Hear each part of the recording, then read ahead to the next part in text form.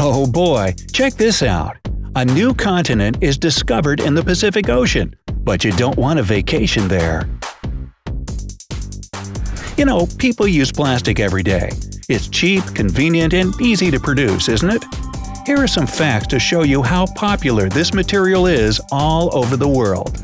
Approximately 1 trillion single-use bags made from plastic are thrown away every year. In other words, this is 2 million plastic bags a minute. In 2016, people bought drinks in 480 billion plastic bottles. But 10 years earlier, the number was much lower 300 billion. Every day, people from all over the world use more than half a million plastic straws. As for bubble wrap, the amount produced in just one year would be enough to cover our planet around the equator. And you'd be able to do this not once, but 10 times. 500 billion plastic cups are used and disposed of annually. Coffee lovers use 16 billion disposable coffee cups every year. These are estimated separately, as they're coated with a plastic that laminates their insides. The lids are also produced from plastic. More than 14 million tons of plastic foam, polystyrene, are manufactured every year. Americans get rid of 25 billion styrofoam cups in one year. When you order takeout, remember this number 269,000. This is how much takeout plastic waste in tons has already entered the world's ocean. Now, you might ask, why are you telling me about plastic waste when I'm all set to watch a video about a new continent? Well, this is a reasonable question, but it wouldn't arise if you knew that this new continent is an island that consists solely of garbage and plastic waste. In fact, there are three huge garbage islands in the world in the central North Pacific Ocean, in the Indian Ocean, and in the Atlantic Ocean. To put it in a nutshell, a huge portion of the garbage we've just spoken about ends up in the ocean. The distribution of this plastic waste is extremely uneven. Due to winds and currents, garbage tends to gather in particular places. The biggest of the three garbage islands is situated in the North Pacific Ocean. It's called the Great Pacific Garbage Patch, or GPGP. It was first noticed in the 1980s, but it wasn't worth much worrying about at that time. However, the latest estimates have thrown researchers off base. Scientists have found out that the size of the garbage island is currently more than 600,000 square miles. That's 4 to 16 times bigger than previous reports stated. This huge territory is larger than Alaska, which is 570,000 square miles bigger than such significantly sized countries as Iran and Mongolia, twice as big as Texas, and three times bigger than France. According to the journal Scientific Reports, there are more than 1.8 trillion pieces of plastic that have accumulated in this area. This debris weighs about 90,000 tons. This equals the weight of 500 jumbo jets. Boy, that's a lot of junk. What exactly is this garbage? Most pieces are tiny particles of plastic, which are smaller than one-tenth of an inch. Nowadays, you can find such microplastics even in bottled water. These particles account for approximately 8% of the total mass. 46% of the Great Pacific Garbage Patch is fishing nets. The rest is other types of plastic waste. Environmentalists believe that more than 8 million tons of plastic get into the ocean every year, and this whopping number is just 3% of the world's waste. The main polluters are Asian countries, and China tops the list. The industry is at its peak there, and environmental problems take a back seat.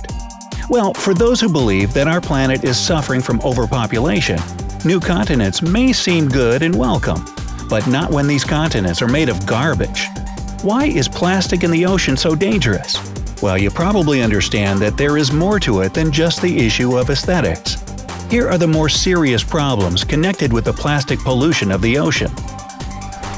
Pieces of plastic become extremely fragile under the influence of sunlight. They also collide with other debris or rocks. As a result, tiny particles of plastic appear. What happens next? Well, sea inhabitants and birds munch on these tiny pieces of plastic, thinking they are something edible in most cases, these plastic objects kill the animals or get stuck in their bodies. Moreover, Some types of plastic release toxic substances, which poison creatures that have been careless enough to swallow a foreign object.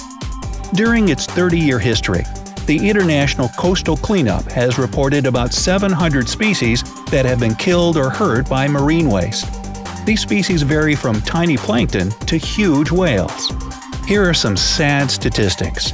100,000 marine animals and more than 1 million seabirds die every year simply because they have eaten something they shouldn't have, namely plastic. Shockingly, some marine species are on the brink of extinction right now, and the reason is the plastic pollution of the ocean. Now, when fish feed on plastic, it influences the whole food chain. Smaller creatures have terrible digestive problems, which of course aren't treated, so they die from intestinal injuries.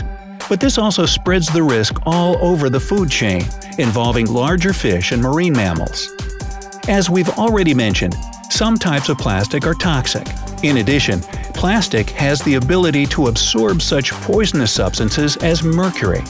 What do you think will happen if you cook a fish that has plastic inside it for dinner?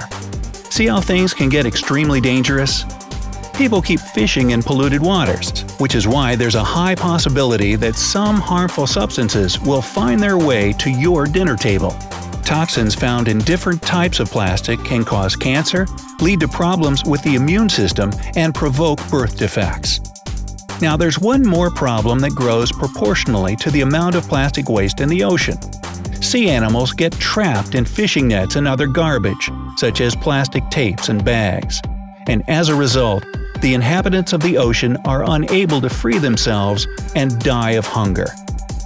Birds often choke to death after trying to swallow a bright object that has caught their eye. Many also suffocate after tangling themselves in debris. There have been several studies that have estimated that 44% of seabirds, as well as sea turtles, have plastic objects in or around their bellies.